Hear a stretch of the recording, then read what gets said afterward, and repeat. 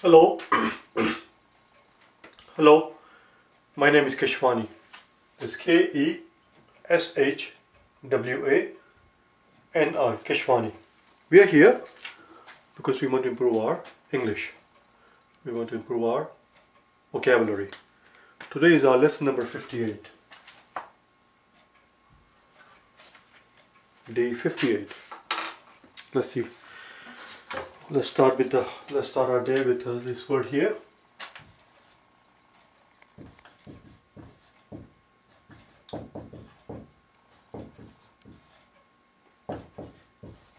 Rap or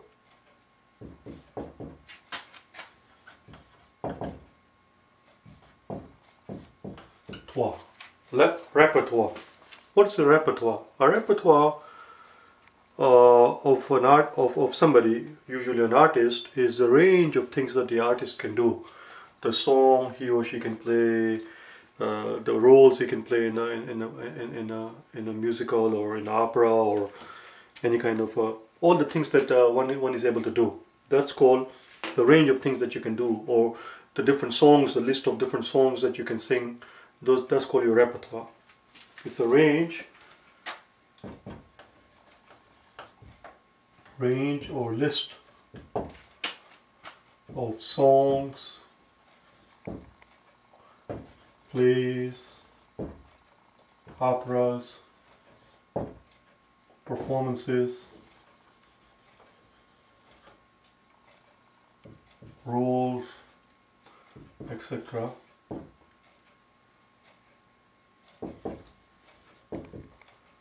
that an actor is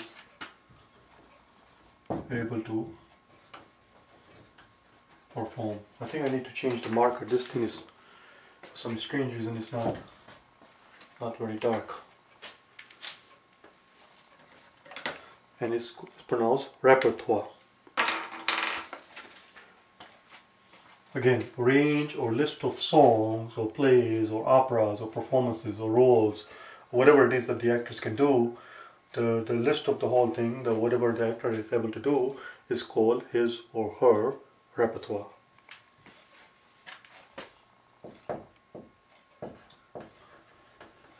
Range of skills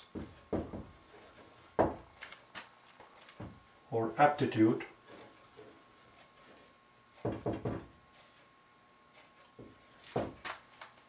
of a person.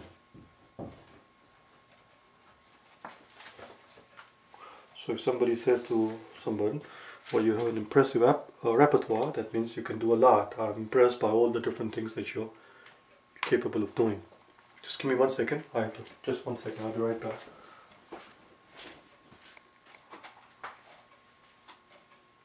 I'm still here. So the word was repertoire. The next word that I want to cover, there are three or four, or actually a few words here that we are going to cover today, and they were these words have nothing to do with each other. Sometimes I have certain themes where I go, and their words are related in some certain way, and they have a certain uh, theme to it. Today, all the words are are are are completely unrelated. So that was it. One more time, the word was repertoire range of skills or aptitude of a person.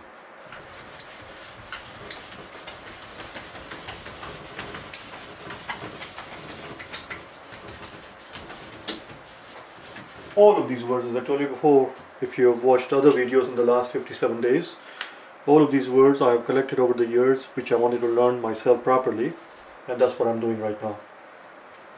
The next word that we want to learn is condone.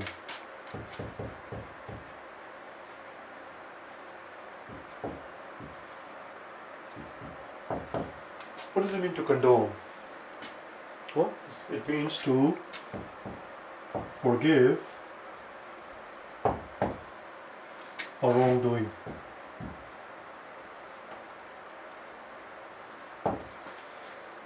If you do something wrong and the person forgives you, the person has just condoned you.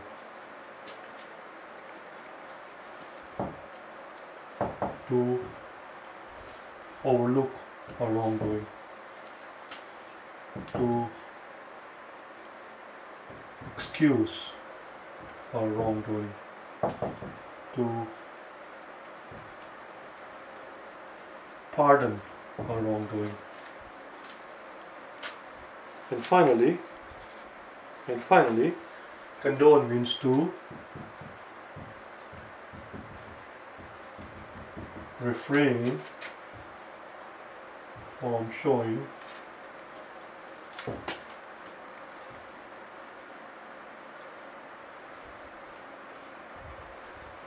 disapproval.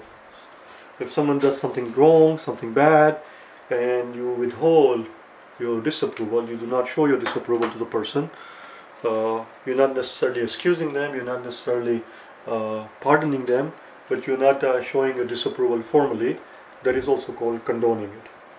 Let's learn it about refrain. That's the next word I have in the list, which is why it's in the capital. It has two meanings, which is why I want to cover it. To refrain from doing something means to not to do that, to, to, to keep yourself from doing something, to restrain yourself, to, to hold you to hold yourself back. Uh, but it has one more meaning, which is why I want to cover it. So that's the next word. The word was condone. So, if someone says we do not condone such behavior, what they're saying is that we do not tolerate such behavior, we do not excuse such behavior, we do not pardon such behavior on this on these premises. We do not condone such language, we do not condone such behavior, we do not condone such manners. Uh, we don't we don't put up with it. We don't we don't we don't approve of it.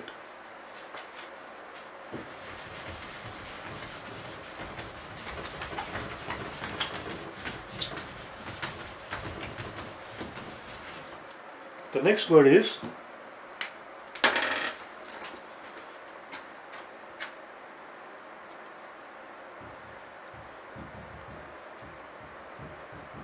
refrain. Re refrain. It has two meanings.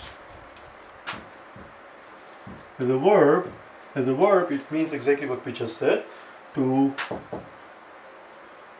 hold oneself back. I don't know why I needed a hyphen there. To restrain oneself.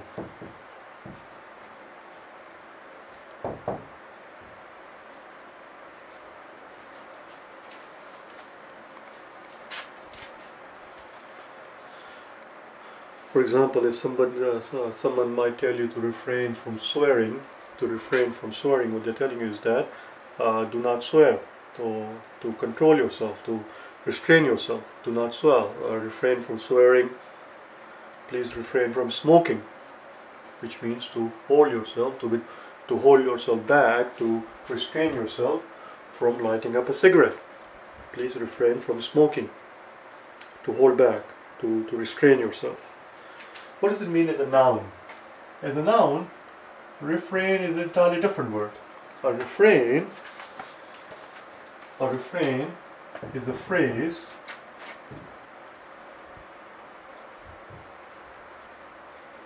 or a verse repeated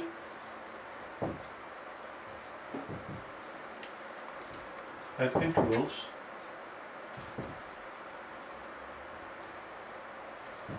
Throughout a song. Or a poem. If you listen to a song, most songs have this one line that the artist keeps repeating at the end of each verse, at the end of each stanza, at the end of, that's a verse. I don't know if you can read my handwriting, B-E-R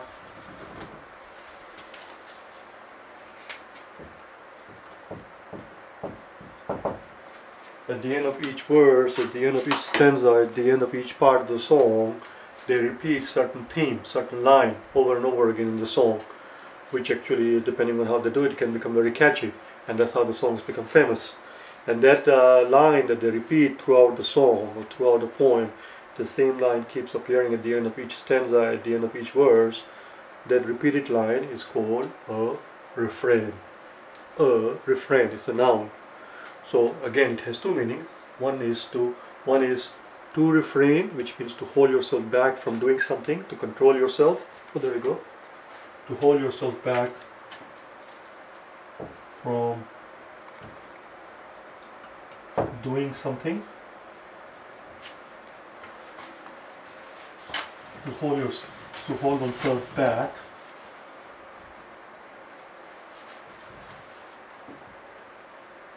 from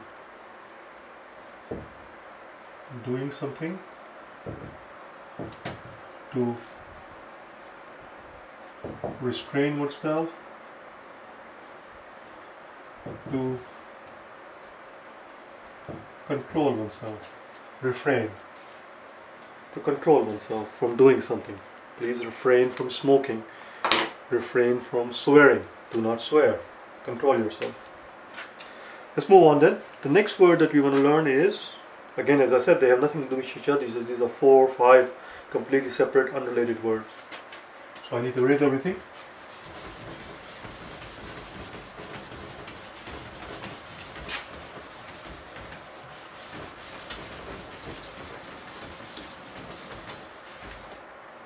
A lot of the famous songs have this refrain that everybody knows and that's how the songs become famous as I said.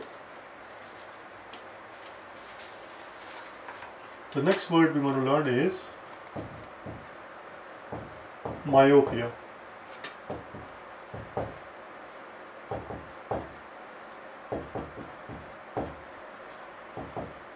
Oh, I mispronounced it just now, didn't I? It's myopia. Myopia. It's not pronounced myopia like I just did. Myopia.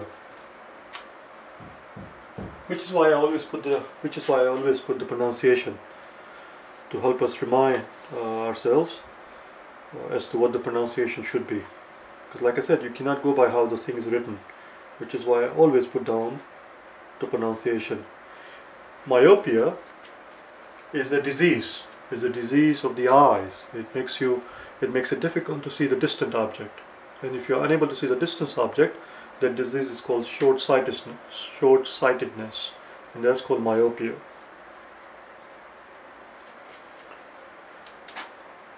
you'll see exactly where I'm going with this in a second having difficulty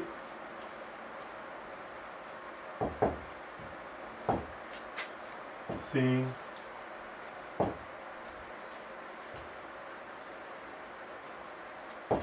distance object distant objects. Or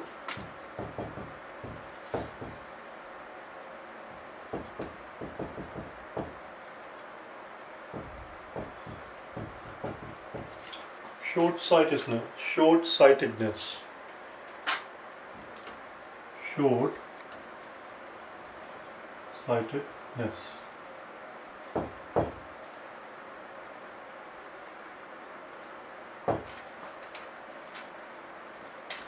short-sightedness and from the word myopia which is a disease and that's the literal meaning of the word from the word myopia we have derived a metaphorical meaning.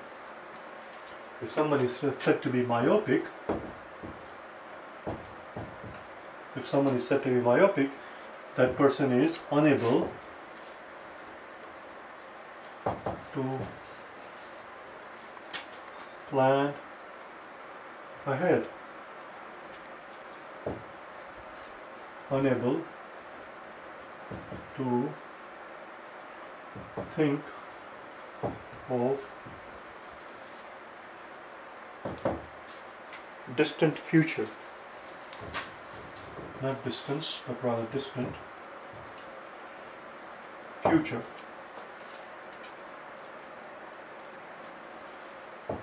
only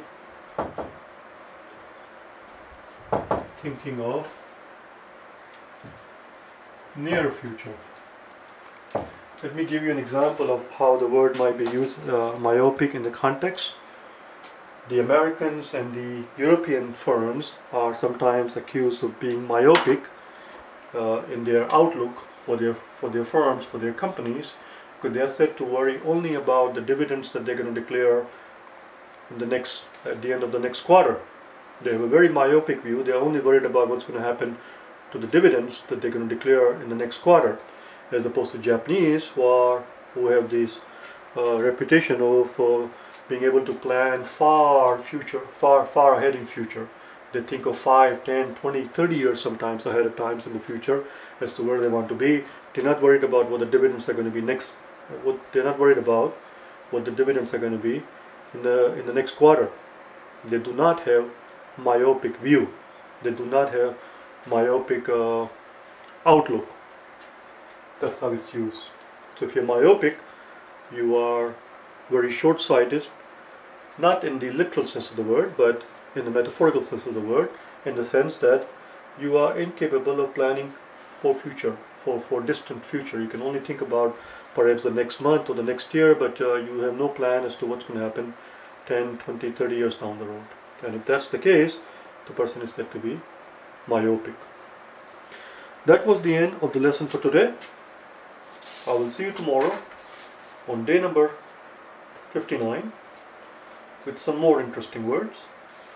In the meantime, if you wish to get hold of me for personal private tutoring, either face-to-face -face tutoring or tutoring over the internet via Skype for GRE, GMAT, SAT or TOEFL, or even algebra, geometry, calculus, statistics, you can go to any of these website addresses that you see there and you can send me an email to, uh, describing as to what you need help in. Or you can go to simplykeshwaniprep.com and send me an email from there. Alright? I'll see you tomorrow. Thanks.